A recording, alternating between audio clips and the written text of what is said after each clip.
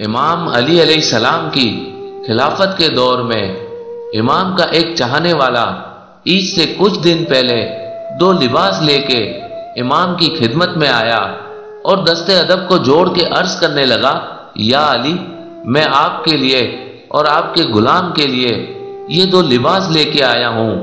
ये जो लिबास महँगा है, ये आप रखिएगा और ये जो लिबास सस्ता है, वो अपने गुलाम को दीजिएगा। इमाम अली सलाम ने उस शख्स की मोहब्बत देखकर वो हदिया कबूल किया। जैसे ही वो गया तो मौलाए कायनात ने कंबर को तलब किया। कंबर, जैसे ही आपका गुलाम कंबर दौड़ता दौड़ता आपकी खिदमत में आया, मौला ने कहा, कंबर, ये जो महँगा लिबास है, ये तुम लो। जो सादा लिबास है, वो रख दो। उसने कहा, या अली, मैं आपका गुलाम हूँ। ये सादा लिबास मुझे दे दें और अच्छा लिबास आप रखें। तो आपने फरमाया, कंबर, तुम जवान हो। ये महँगा लिबास तुम पर जचेगा। मैं तो बूढ़ा हो चुका हूँ। ये सादा लिबास रहने दो। बस, कंबर महँगा लिबास लेकर चला गया और वो सादा लिबास पड़ा रहा। इतनी देर में मीसा में तम्मार आ गए और वो कहने लगे, या अली, मैं आपकी जियारत के लिए आया हूँ। इमाम अली ने मुस्कुरा कर कहा, मीसम, मैं तुम्हें ही याद कर रहा था, ये लिबास रखा हुआ है, लो और ईद के दिन पहनना। मीसा में वो लिबास लेकर चला गया।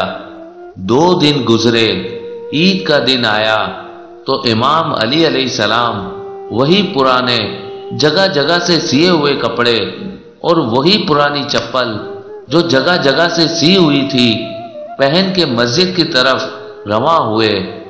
ईद नमाज़ पढ़ी। सब मुसलमानों से ईद मुबारक कह के वापस आ रहे थे। तो रस्ते में कुछ लोगों ने कहा, या अली आप तो वक्त खलीफा है। यहाँ पर गरीब से गरीब इंसान के पास अच्छे अच्छे लिबास हैं, जो पहनकर घूम रहे हैं। और आपका लिबास इतना पुराना और इतना फटा हुआ। इमाम अली सलाम ने मुस्कुरा के कहा, ईद का मकसद ये नहीं कि इंसान महँगे और अच्छे लिबास पहने, बल्कि ईद का असल मकसद तो यह है कि इंसान अपने अल्लाह के लिए उस दिन कोई गुनाह ना करे। अच्छा लिबास पहनना ईद की निशानी नहीं, बल्कि अच्छा किरदार ईद की निशानी है। सुन लो मोमिन के लिए हर वो दिन ईद है, जिस दिन वो गुनाह ना करे। बस ये कह के आप जो यतीम बच्चे थे, उनके पास तोहफे, खजूर और अनाज लेके चले गए। तमाम यतीमों के सर पर हाथ रखा, प्यार किया, उनको तोहफे दिए, ताकि उनको यतीमी और गरीबी का एहसास ना हो और यूँ अपनी ईद यतीमों और गरीबों के साथ हमेशा गुजारा करते थे। यतीमों और गरीबों के साथ हमेशा गुजारा करते थे।